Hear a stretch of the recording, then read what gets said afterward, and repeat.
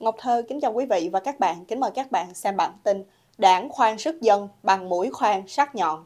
Đảng Cộng sản Việt Nam vẫn luôn tự vỗ ngược là đỉnh cao trí tuệ, là người đưa Việt tộc đi từ thắng lợi này đến thắng lợi khác kể từ khi ra đời đến nay. Đảng chưa bao giờ sai, từ mô hình thể chế đến đấu tranh giai cấp đến nội chiến tương tàn hay cải cách ruộng đất. Dù có chết hàng triệu người thì đảng vẫn luôn đúng. Nếu có sai thì lãnh đạo đảng chỉ cần nhỏ vài giọt nước mắt lấy khăn chấm chấm như ai đó là xong.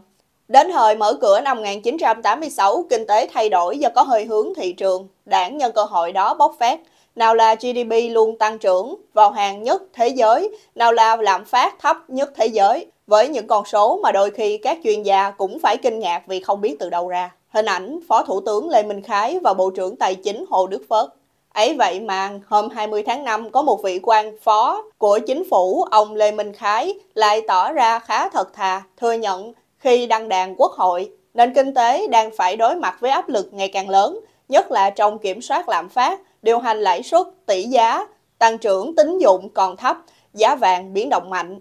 Đồng bằng sông Cửu Long gặp nhiều khó khăn do hạn hán, xâm nhập mặn kéo dài và nặng nề hơn. Điều đó càng khẳng định sự thật khi người dân đã khốn khó suốt gần 3 năm nay. Nay quan trên lại thừa nhận khó khăn khiến người dân thêm lạnh gáy hơn.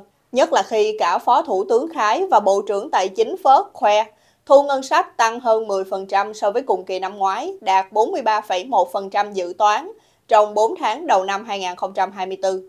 Càng kinh khủng hơn, cái sự tăng thu ngân sách này là tăng từ thu nội địa gần 13%, trong khi thu từ xuất khẩu thì giảm gần 6%. Dân bàng hoàng, kinh tế suy thoái, hàng triệu người thất nghiệp, hàng trăm ngàn doanh nghiệp đóng cửa. Vậy nguồn ở đâu để các ông tăng thu? Đến đây thì không cần phải là chuyên gia tài chính, cũng phải cảm thán thốt lên ối giời ơi. Bởi tăng thu nội địa thì có nguồn nào khác ngoài tăng thuế của dân, nghĩa là tận thu từ dân, vắt kiệt hầu bao của dân. Không cần tìm hiểu đâu xa, chỉ cần vòng quanh các tờ báo quốc doanh thì có thể thấy dễ dàng liệt kê ra các nguồn tận thu của các ông. Hình ảnh thu ngân sách nhà nước 4 tháng đầu năm 2024. Nguồn thu mới nhất của đỉnh cao trí tuệ là phí cho thuê vỉa hè. Vỉa hè là nơi kiếm cơm của dân lao động nghèo, của những người chạy ăn từng bữa với các xe bánh mì nước giải khát khó khăn là thế. Vậy mà các ông cũng có thể nghĩ ra để tận thu vào đúng cái buổi chợ chiều, ế sưng ế xỉa Báo quốc doanh còn reo hò cổ vũ nhờ thu phí mà vỉa hè ngăn nắp trật tự. Nhưng tuyệt đại đa số người dân lại không tin bởi vỉa hè nó sờ sờ ra trước mắt ai cũng có thể thấy. Dạo quanh vài khu chợ thì nghe biết bao lời ta tháng, không nói đâu xa. Chỉ ngay chợ An Đông, chợ Tân Định, toàn là những chợ lớn ở ngay những khu vực trung tâm sầm uất của Sài Gòn. Nhưng rất nhiều sạp hàng đóng cửa, nhiều tiểu thương chơi điện thoại thay vì bán hàng. Rất nhiều tiểu thương than vãn hàng quán ế ẩm suốt mấy năm nay mà ông nhà nước không giảm một đồng thuế nào, ban quản lý chợ không giảm đồng phí nào. Bao nhiêu đơn thư xin giảm thuế, giãn nợ đều như ném vào thinh không, không hồi âm, không xem xét. Trả lời phỏng vấn thời báo Tài chính Việt Nam, Bộ trưởng Phớt hô hào phải khoan sức dân. Nhưng công luận đánh giá có lẽ ông Phớt và giới lãnh đạo Việt Nam đang sử dụng mũi khoan sắc nhọn để khoan xuyên, khoan thủng sức dân chứ không phải là khoan thư, khoan giảng cho dân. Điều đó chứng tỏ các ông không nuôi dưỡng sức dân mà các ông nuôi dưỡng nguồn thu như chính lời ông Phớt. Và lãnh đạo Việt Nam chỉ coi dân là cái mỏ để các ông vơ vét tận thu. Hình ảnh những sạp hàng đóng cửa, dài hàng ở chợ An Đông. Dù Phó Thủ tướng Lê Minh Khái tỏ ra khá thật thà, thừa nhận khó khăn, nhưng ông vẫn không thoát khỏi thói quen đổ thừa của lãnh đạo Cộng sản, lấy lý do kinh tế chính trị thế giới biến động mạnh Nghĩa là ông vẫn tiếp tục cùng với các bậc tiền bối lãnh đạo của ông chơi trò đổ lỗi cho những lý do khách quan, cho thế giới, cho cả bọn thù địch, đánh phá nữa. Ông Khái vẫn không dám chỉ ra nguyên nhân căn bản, nguyên nhân gốc rễ, đó là thể chế độc tài toàn trị, đó là lợi ích nhóm hủy hoại sự phát triển của đất nước, tàn phá môi trường. Đó là cuộc tranh ăn ở cung đình, khiến bộ máy hành chính tê liệt, khiến nhà đầu tư hốt hoảng bỏ đi.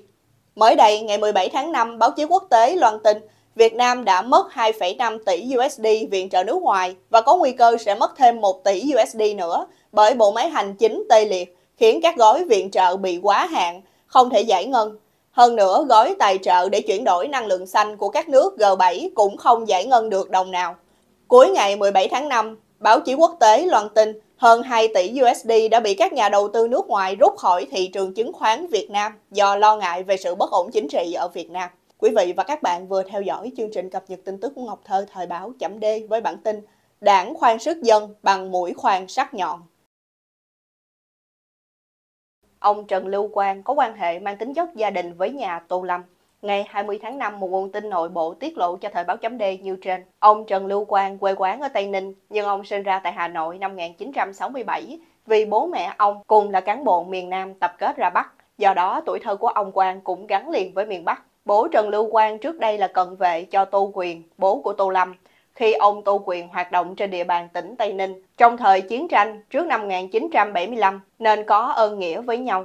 Mẹ ông Trần Lưu Quang là bà Nguyễn Thị Huệ sinh năm 1931, mất năm 2022, quê ở Dòng Trơm, Bến Tre, là đồng hương với cựu Chủ tịch Quốc hội Nguyễn Thị Ngân. Bà Huệ sinh tất cả những người con trên đất Bắc, con trai út Trần Lưu Quang. Sau năm 1975, cả gia đình về lại Tây Ninh. Bà Huệ từng giữ chức vụ Phó Giám đốc Bệnh viện Đa khoa tỉnh Tây Ninh. Còn bố của ông Trần Lưu Quang từng làm tổng biên tập báo Tây Ninh. Trần Lưu Quang thứ ba từ phải qua và ông Tô Dũng thứ hai từ phải qua, em trai của Tô Lâm. Lúc đó ông Quang tuy đang làm phó bí thư thường trực thành phố Hồ Chí Minh nhưng cũng về Tây Ninh tham dự lễ khánh thành nhà máy điện mặt trời dầu tiếng 1 và 2. Ông Quang thăng tiến rất nhanh. Tháng 6 năm 2010, ông bắt đầu làm bí thư của một huyện thuộc tỉnh Tây Ninh và chỉ 7 tháng sau, tháng 1 năm 2011, ông được bầu làm ủy viên dự khuyết Ban chấp hành Trung ương Đảng. Người nâng đỡ ông Trần Lưu Quang trên quan trường đó là đồng hương Tây Ninh của ông, ông Nguyễn Văn Nên, tức Bảy Nên, Ủy viên Bộ Chính trị, hiện là Bí thư Thành Hồ. Từ năm 2006 đến năm 2011, khi giữ chức trưởng ban tổ chức tỉnh ủy, phó bí thư, chủ tịch Ủy ban Nhân dân tỉnh, rồi bí thư tỉnh ủy Tây Ninh, ông Bảy Nên là người trực tiếp quy hoạch cán bộ chiến lược, tiến cử Trần Lưu Quang làm ứng viên dự khuyết Trung ương khóa 11, khi ông Quang lúc đó mới 43 tuổi, chỉ là bí thư huyện ủy Trảng Bàng, Tây Ninh. Đầu năm 2023, việc Phạm Bình Minh bất ngờ ngã ngựa, mở đường cho Trần Lưu Quang leo lên ghế phó thủ tướng. Trước đó, khi làm bí thư tỉnh Tây Ninh gần 4 năm, từ năm 2015 đến năm 2019, Trần Lưu Quang không để lại bất kỳ dấu ấn gì ngoại trừ việc dâng các dự án đất vàng béo bở ở Tây Ninh cho các tập đoàn lớn như Vingroup, Sun Group, FLC, TNG Holding, đặc biệt là tập đoàn Xuân Cầu Holdings của Tô Dũng, em ruột Tô Lâm. Bí thư tỉnh ủy Tây Ninh Trần Lưu Quang tiếp Bộ trưởng Bộ Công an Tô Lâm đến chúc Tết năm 2016. Dự án nổi bật nhất của tập đoàn Xuân Cầu tại Tây Ninh là các nhà máy năng lượng mặt trời dầu tiếng 1, 2, 3 với tổng nguồn vốn đầu tư gần 13.000 tỷ đồng, sử dụng 720 hecta đất bán ngập hồ dầu tiếng. Không những đây là một dự án có quy mô và vốn đầu tư lớn nhất nước, mà còn là dự án lớn nhất Đông Nam Á về năng lượng sạch, với tổng công suất là 500 MW. Ngoài ra, Ủy ban Nhân dân tỉnh Tây Ninh còn quyết định chấp thuận cho Tập đoàn Xuân Cầu đầu tư thực hiện dự án nhà máy điện mặt trời dầu tiếng 5.1 và dầu tiếng 5.2. Khác với các quốc gia dân chủ, lãnh đạo Cộng sản Việt Nam đều là những người không đi lên bằng trình độ, năng lực bản thân, mà nhờ các mối quan hệ và khả năng chịu chi. Đảng chỉ quan tâm chú trọng bồi dưỡng nâng đỡ cho con em của những người có công với cách mạng, con cháu các bậc tiền bối lão thành cách mạng của họ mà dân gian thường gọi là các thái tử đảng. Tệ hại hơn nữa là các thành phần bỏ tiền để mua ghế quan. Người Việt vẫn lưu truyền câu thứ nhất hậu duệ, thứ nhì quan hệ, thứ ba tiền tệ, bỏ qua trí tuệ là như vậy. Do đó, mối quan hệ gia đình giữa Trần Lưu Quang và Tô Lâm không cần giải thích, cũng đủ để hiểu vì sao sự nghiệp của ông Quang lại thăng tiến như vũ bão. Quý vị và các bạn vừa theo dõi chương trình cập nhật tin tức của Ngọc Thơ Thời báo chấm D với bản tin Ông Trần Lưu Quang có quan hệ mang tính chất gia đình với nhà Tô Lâm. Quý vị và các bạn hãy chia sẻ video này để nhiều người cùng biết cũng như bấm nút đăng ký kênh YouTube và Facebook của Thời báo.d để được cập nhật những bản tin mới nhất, nhanh nhất và trung thực nhất. Ngọc Thơ Thời báo.d